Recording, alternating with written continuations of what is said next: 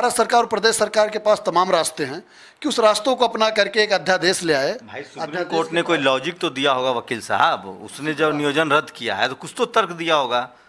देखिए क्या तर्क था? इस निर्णय का जो है माननीय सर्वोच्च न्यायालय ने जो है आ, हाई कोर्ट के माननीय हाई कोर्ट के जजमेंट को लेते हुए उसमें बहुत ज़्यादा हमारे जो एडवोकेट बड़े बड़े एडवोकेट थे बड़े सीनियर एडवोकेट थे। नहीं, कुछ तो लॉजिक उनके- दिया होगा ना कि भाई उनके- ये उनके नहीं मैं- है मेरी बात तो आप सुन लीजिए। हाँ।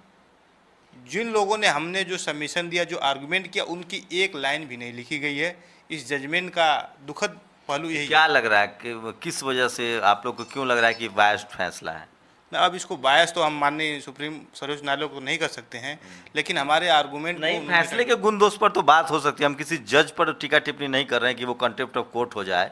किसी भी फैसले के दोष गुण पर तो बात होती ही है। ये तो हमारे राइट्स में हम लोग जैसे पढ़ते थे कि भाई प्रतावली पर उपलब्ध दस्तावेजों को पढ़ा लर्नेड काउंसिल जो है पिटिशनर को उनके आर्गूमेंट को सुना उन्होंने ये ये साइटेशन दिया गया।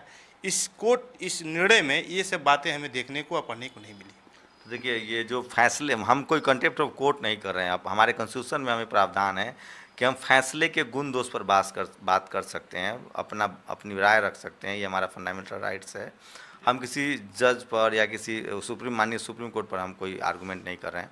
एक आखिरी सवाल कि आप लोग क्या करेंगे? आप लोग युवा भी हैं और अब जबकि नियोजन रद्द हो गया है और सरकार की तरफ़ से कोई ठोस जवाब नहीं मिलता है तो फिर क्या? तरफ़ से ठोस जवाब रोटी का सवाल है एक लाख सत्तर हज़ार परिवार बाहर हुआ है। हमारे रोजी रोटी की आप व्यवस्था करो। कल पूरे प्रदेश के लोग लखनऊ में इकट्ठा हो रहे हैं और प्रदेश से हमें मांग करेंगे माननीय मुख्यमंत्री जी से आपके माध्यम से भी मांग सरकार ने नहीं आप लोग की बात मानी तो? सरकार मानेगी। मुझे नहीं मुझे पूरा विश्वास है सुप्रीम कोर्ट के दायरे में ही रह करके कानून के दायरे में ही रह करके सरकार कोई रास्ता हमारे लिए निकालेगी। और जो रास्ता होगा वो भी सम्मत होगा और तर्कसंगत होगा जिससे हम पुनः अध्यापक बनेंगे। इसी सरकार को और भारत सरकार उस प्रस्ताव पे एक अध्यादेश ला करके हमको पुनः अध्यापक बना सकती है। और मुझे पूरा विश्वास है कि उत्तर प्रदेश की सरकार और भारत सरकार हमारे साथ खड़ी होगी। ऐसे विषम परिस्थितियों में हमारे एक लाख सत्तर हज़ार परिवार के रोजी रोटी के लिए हम पुनः शिक्षक थे। सत्रह साल हमने दिया इसमें। सत्रह साल की हमारी सेवाएँ दी। आज माननीय उच्चतम न्यायालय के आदेश पर मैं कोई टिप्पणी नहीं कर रहा हूँ। सत्रह साल पढ़ाने के बाद एक एक आप जानते होंगे, आपको खुद पता है कि एक ज़िले में एक तहसील होती है। तहसील का एक लेखपाल चार साल बाद प्रमोट करके कानून को हो जाता है। दस साल बाद प्रमोट करके वही नायब तहसीलदार नायब तहसीलदार तहसीलदार और एसडीएम हो जाता है।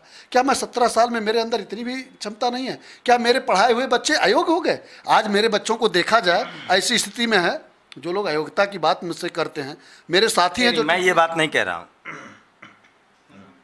मैं जो अयोग्यता की बात मेरे साथी टीटी वाले करते हैं मैं उनसे भी एक चीज़ कहना चाहूँगा। कि आपने अयोग्यता की बात मेरे साथ तो कर ली लेकिन आप भी अयोग्य हो क्योंकि आपने जो अपनी ट्रेनिंग ली बीटीसी की हम ही वहाँ इंचार्ज के रूप में थे। चलिए ठीक है ये पहले तो जो सर्वोच्च न्यायालय का एक आदेश है कि भाई समान कार्य समान वेतन जो हम पे लागू होता है। जब हम अध्यापक पद पे हैं और अध्यापक के बराबर बैठ के विद्यालयों में पढ़ा रहे हैं तो हमें समान वेतन समान कार्य का जो नियम है वो लागू किया जाए जिससे हमारे सभी साथियों को अध्यापक का वेतन मिले नौकरी तो बचाइए नौकरी बचेगी नौकरी नहीं बचेगी तो क्या करेंगे? नहीं उससे अलग एक समान वेतन समान कार्य का है वो सर्वोच्च न्यायालय का ही आदेश है उसको क्यों नहीं फॉलो किया जा रहा? देखिए ये अजीब देश है यहाँ एडहॉक सिस्टम भी है और प्राइवेटाइज हो रहा है सब कुछ। शिक्षकों को भी ठेके पर लाया गया था इसको ठेका कहिए आप ठेकेदारी ठेके पर लाया गया था। आ, उसके बाद सरकार पर दबाव बढ़ा और उनको नौकरी देनी पड़ी। नौकरी के बाद अब पेच लग गया है और उनकी सुप्रीम कोर्ट से जो फैसला आया उसमें उनके नौकरी पर तलवार लटक रही है। रोजी रोटी का बहुत गंभीर सवाल एक शिक्षक से पूरा परिवार जुड़ा होता है। सरकार को दो चीज़ें समझनी चाहिए कि क्या वो अभी तुरंत शिक्षक स्टूडेंट का जो रेशियो है उसको भरने में सफल हो जाएगी? वो कैसे? टीचर को बहाल तो करेगी ही। एक बीच का रास्ता बनाने की ज़रूरत है ताकि जो कम से कम डिज़र्विंग लोग हैं, जो बेहतर लोग हैं जिन्होंने अपनी जवानी दी है पूरी उम्र दी है उनके बारे में भी कंसिडर करे। लेकिन जिस तरह का हाल है इस देश में सरकारी स्कूलों में शिक्षा व्यवस्था का अ, मैं किसी एक राज्य या एक सूबे की बात नहीं कर रहा हूँ। उससे सवाल तो उठता है कि आखिर वो कौन लोग जिम्मेवार है? क्या इसके लिए सिर्फ़ शिक्षा मित्र जिम्मेवार है?